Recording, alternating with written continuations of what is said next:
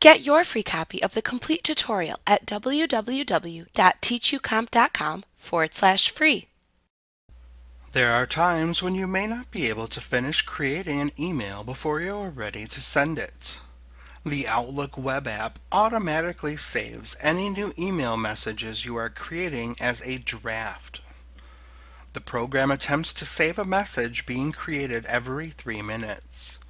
In the Folders section, there is a Drafts folder that will contain any unfinished email messages you have created.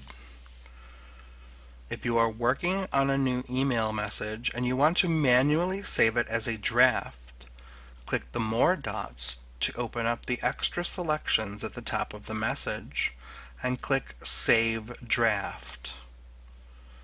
This will replace any drafts that were automatically saved by the Outlook web app.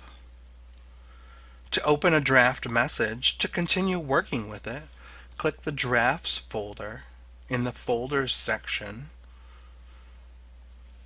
Choose the message you want to continue working with to view it in the Reading pane. If you have draft email messages that you no longer want to send, click the Drafts folder.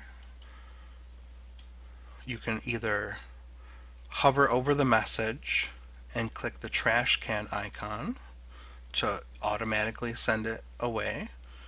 Alternatively, you can click Discard to open the Discard Message confirmation box and click Discard again to send the message to the deleted items folder. This is helpful if you decide to go back at a later date and continue working with the discarded draft message, as it will be in the deleted items folder for 30 days or until the folder has been emptied. Like what you see? Pick up your free copy of the complete tutorial at www.teachucomp.com forward slash free.